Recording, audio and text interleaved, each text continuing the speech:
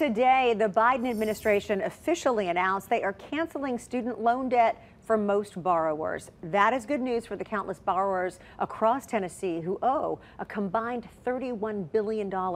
That's according to educationdata.org. Now, folks who make less than $125,000 a year will have $10,000 forgiven from their loans. Pell Grant recipients can receive up to $20,000 forgiven. WSMV's Danielle Jackson joins us now. And Danielle, we know you talked to an expert tonight looking at both positive and negative effects this new policy could have. What have you learned? Tracy, I can tell you experts tell me this is an unprecedented case of loan forgiveness that's happened in the U.S.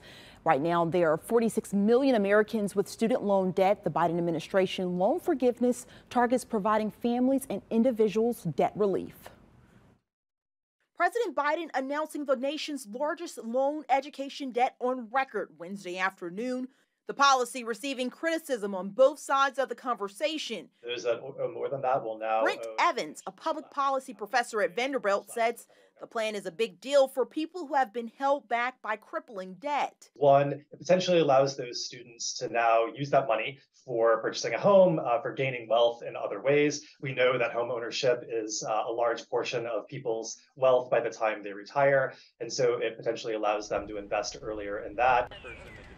In addition to that, he says it levels the playing field in places where there have been inequities in the past. For example, Black students have uh, disproportionately been burdened with student loans, and low income students um, have been disproportionately burdened with student loans relative to upper income families. And so this provides some opportunity for them to uh, have a more equal starting point after they have left um, higher education. Some critics of the plan say the policy is unfair for those who have already paid off their debts while others say the income threshold is too high. I think the question is is $125,000 maybe too high of a limit from a public policy standpoint? Um, if uh, a couple is uh, making $250,000 a year jointly, do they need $10,000 of debt forgiven um, when they could easily afford to pay it a couple hundred dollars a month that uh, that would entail over 10 years?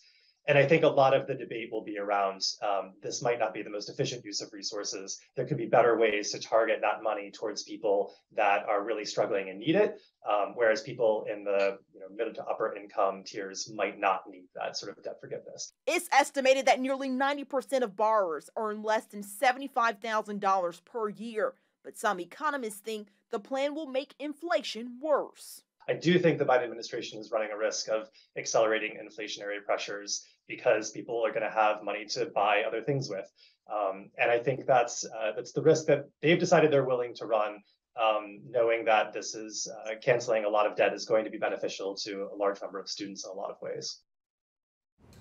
Now, it's important to note this loan forgiveness policy applies to borrowers that have already borrowed money before July 1st. It does not necessarily apply for new borrowers moving forward. Now, the Biden administration says you'll have to apply to have your debts forgiven. As soon as we learn how to apply, we'll definitely let you know. Tracy. All right. Thank you very much, Danielle, tonight. And another